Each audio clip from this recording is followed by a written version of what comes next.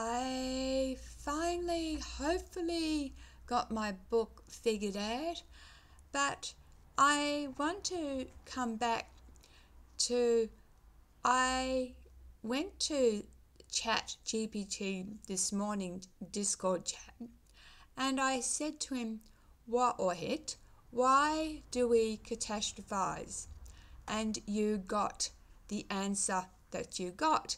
And then I gave my explanation. I've just gone back and I've put the question a different way so that the bot understands what I meant. So I said this Why do we think the worst thing has happened? For example, someone is late, so we think they have had an accident. Like, remember, I explained that yesterday my cleaner by nine she hadn't showed up and I rang and there was no one answering. 9.30 no one was answering. 10 o'clock no one was answering. By 11.30 I was pulling out my hair thinking, please, whoever's got her phone, just answer me. You know, I she is very reliable. I didn't think she had quit. I just immediately jumped to the worst possible scenario. Eventually, um, I she did ring up just after 11:30 and she as I said is really unwell and she'd just been asleep and just missed the phone. But anyway, this is what chat now answered me with. The human mind has a tendency to jump to negative conclusions when faced with uncertain or ambiguous situations. This cognitive bias is known as the negativity bias and is a survival mechanism that has been hardwired into our brains over millions of years of evolution. So, my explanation earlier was pretty spot on. Let's continue. The negativity bias causes us to pay more attention to negative stimuli and to give them greater weight than positive ones. As a result, we are more likely to remember negative events and to perceive neutral or ambiguous situations as negative. Just stopping there for a moment. That really makes sense with trauma and with a relationship. I said, why do we jump to the worst possible situation um, that's happened? But when a relationship is ending, why is it that we seem to remember the bad times and not the good times? It's because of this negativity bias that chats just told me. Anyway, I'll continue. When we are waiting for someone who is late, our mind naturally begins to speculate about what might be causing the delay.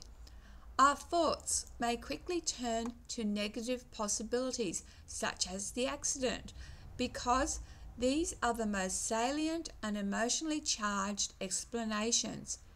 In contrast, less emotionally charged explanations, such as traffic or a missed turn, may not come to mind as readily. This is because our brain is wired to prioritize potential threats over benign explanations. The negativity bias can be useful in some situations, such as when we need to be alert to potential dangers in our environment. However, it can also lead to unnecessary worry, anxiety, and stress when we jump to negative conclusions without sufficient evidence. When we assume the worst, we may experience physiological re- reactions such as elevated heart rate, increased cortisol levels, and sweating.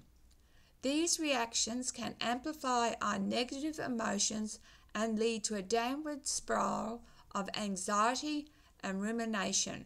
For those of you who don't know what rumination, it just means continue to think and overthink. To overcome the negative bias, it is important to be aware of our tendency to jump to negative conclusions and to consciously challenge these thoughts with more balanced and evidence based explanations.